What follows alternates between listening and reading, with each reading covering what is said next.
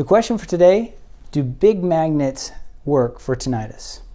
The fancy way of asking this is, does TMS, or transcranial magnetic stimulation, work for tinnitus?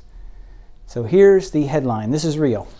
In the largest U.S. clinical trial of its kind, funded by the Veterans Affairs Rehabilitation Research and Development Service, researchers found that transcranial magnetic stimulation significantly improved tinnitus symptoms for more than half of study participants. Well, that sounds promising. This is part seven of eight in our series on electrocuting your otherwise or otherwise directly altering the electrical current in the brain to help tinnitus. So Mayo Clinic, in their article about transcranial magnetic stimulation, in that case for depression, says that they don't know how this works. The answer today comes from three studies. I'll introduce them as we go along. Previously, we discussed how deep brain stimulation can directly reset the synchrony of the brain neurons and may help, but can also hurt tinnitus. And you do have to cut open the skull to do it. The transcranial magnetic stimulation, abbreviated TMS, is a less invasive way of resetting the neuron synchrony of tinnitus. It involves using powerful magnets to give you an idea of the power Consider that clinical magnetic resonance imaging machines, MRIs, have magnetic powers up to 1.5 Tesla. Now, I know most of you don't know what Tesla means, and I didn't either. Um, but compare that, whereas transcranial magnetic stimulation units, abbreviated TMS, give off magnetic fields between 2 and 3 Tesla. That's up to twice as strong as those big functional MRI or those big MRI machines. For another comparison, the Earth has a magnetic field of 0.00005 Tesla. So the MRI has a larger field because it's so much bigger, even though it's a little weaker than the TMS machines. So the TMS unit activates neurons by directing the powerful magnetic field through the skull and a few centimeters into the brain. The, uh, this magnetic field application is repeated with many pulses. For example, 2,000 in um, 2,000 pulses per session in one of our studies today, and 600 pulses per second uh, per session in another one of our studies. In the first study, we find a few interesting results. First, it didn't seem to matter which side they did the magnetic stimulation on. So, what, you say? I thought they were specifically targeting a particular area of the brain. Well, the researchers intentionally chose a side randomly. It's worth noting that most of the participants did have bilateral tinnitus, but most of the non-responders also had bilateral tinnitus. The fact that the side of the brain treatment did not matter suggests that the transcranial magnetic stimulation effect is not related to its local influence on the brain. Hmm, so why is that? Well, I don't know exactly. So, secondly, this study tested the predictive value of the tinnitus functional index the TFI. It seemed to be predictive of who would improve with the treatment. So one of the eight parameters on the questionnaire was, uh, was really helpful, the most important one, the questions about hearing clearly and understanding. So that was the most predictive of whether they would respond. So hearing clearly and understanding, specifically understanding conversations. So that's good news. They found that those who started out worse, especially in this category of questions, responded better.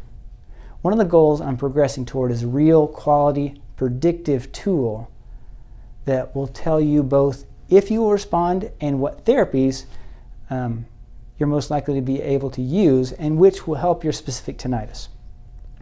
So I have a name for this predictive tool. It's called the Brain Mapped, which stands for Brain Maladaptation Profile for Tinnitus. So this study added to that tool by identifying one of the profile characteristics that responded best to local brain therapy. So that's really good news, and it's really helpful. Now, what about the results of using transcranial magnetic stimulation for tinnitus? Well, in that study, about half of the people treated improved at least 10%. Now, that's not too impressive. So let's take a look at another study using repetitive TMS to treat tinnitus. This one's from 2013 here, 40 people with tinnitus were treated with TMS to the brain's auditory cortex. Half were treated on the same side, and half were treated on the opposite side of their tinnitus. all had tinnitus severity based, uh, based on the Tinnitus Handicap Inventory, or the THI questionnaire scores, of more than 38 out of 100. So they were fairly bad off to start with. Um, so what were the results? Again, like the other study, the side of the stimulation didn't seem to matter, at least after one month. The people treated on the same side as tinnitus perception responded immediately, actually, whereas those treated on the opposite side improved gradually. So after one month post-treatment, both groups maintained improvement of about 10 points on the THI, which is about 20% improvement from where they started in this case. It's not too bad, especially for lasting improvement, although um, know that we can do better.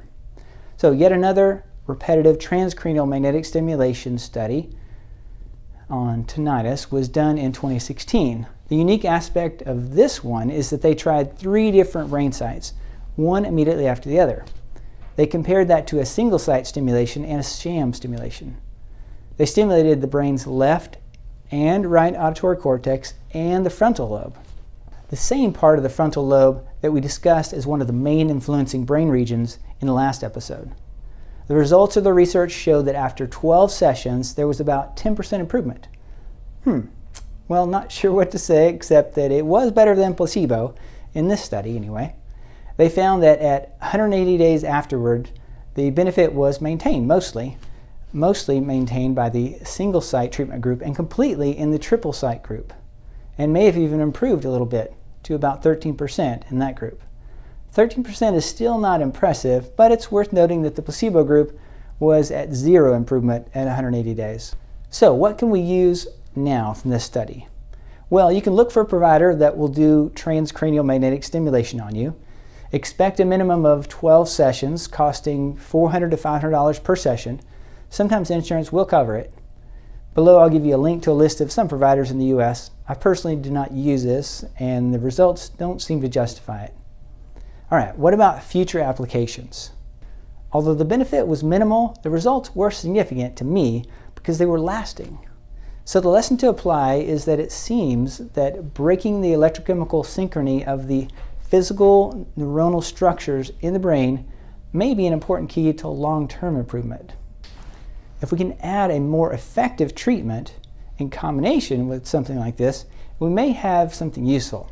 In the next episode is brain synchrony, the wave of the future, and is CR neuromodulation effective? I'd like to know your thoughts, so please leave a comment or request a re review of a particular research study. To stay connected to tinnitus research and therapy applications, subscribe to our YouTube channel. And to be notified of new therapies and video postings, click the bell and subscribe to our email newsletter at tinnitussynergy.com. Thank you, and may God bless you.